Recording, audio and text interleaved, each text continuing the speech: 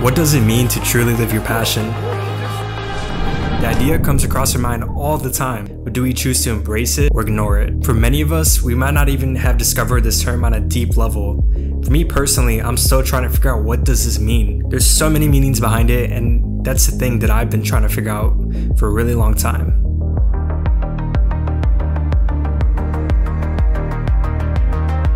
But we really have to have hope for so many reasons.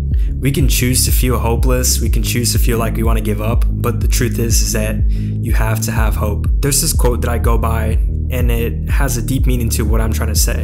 And it goes, every morning you have two choices. Continue to sleep with your dreams or wake up and chase them. The thing that I've realized is that we can spend our life feeling in regret or we can at least say that we tried.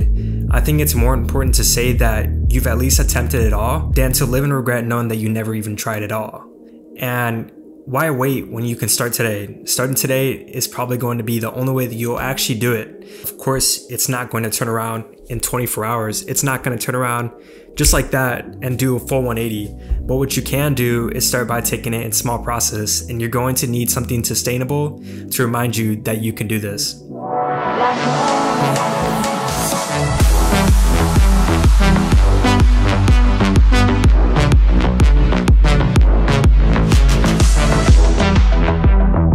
Biggest thing for me to realize this is have a reason that's going to be long lasting rather than chasing things that don't really matter like money, fame, or even trying to get everybody just to like you. If you literally aim for 1% better every day, do you know how much progress that could be in the long term? And that's all you need.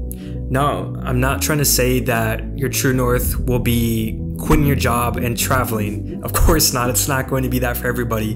But the thing that I really want to say is that you need to find what you really enjoy, go for it, and try to make a positive impact in any way that you can in your life or in others.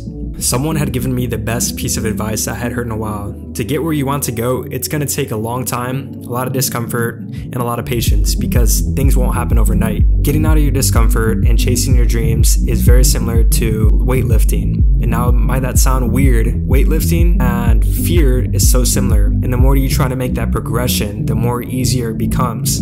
And, and if you part away from that, you'll end up getting back into that place where you're felt behind. You have to develop a healthy relationship with fear because on the other end of the side, discomfort and fear is where you'll find your success. Anyways, guys, I just want to say thank you for tuning in and I'll see you guys sometime soon.